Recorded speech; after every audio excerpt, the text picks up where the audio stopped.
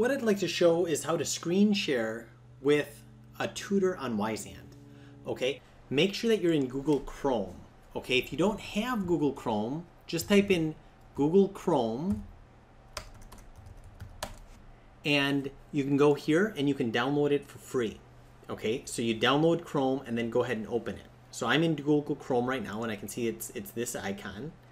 And when I'm in Chrome, I'm gonna just type in, yeah, Google Chrome Store.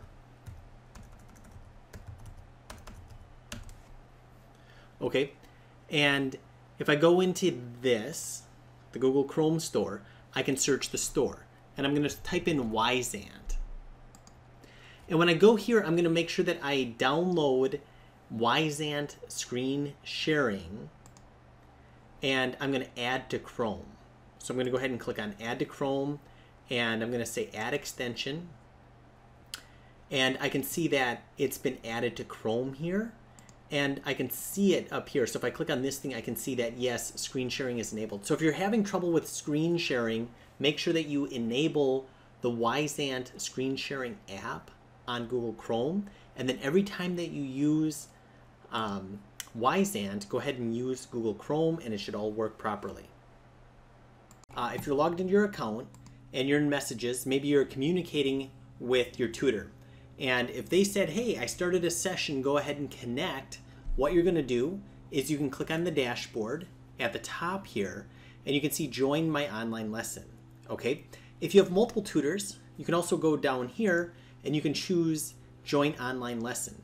So I'm going to, as a tutor, I'm going to set up a lesson and we're going to look at what that looks like. Okay. So if you go right here and go to join online lesson, Now it's going to say if you have a camera, you might see yourself here. Um, but if you don't have a camera, that's okay. It'll just say your camera's off and you can see that right here, your audio settings. And if you have a question, you can click on this button here and it'll help you through uh, the audio and video settings. But when you're talking, you want to make sure that you see this green bar going up and down to make sure that your audio is working. If you're ready, you can go to continue. And I'll just say continue without camera.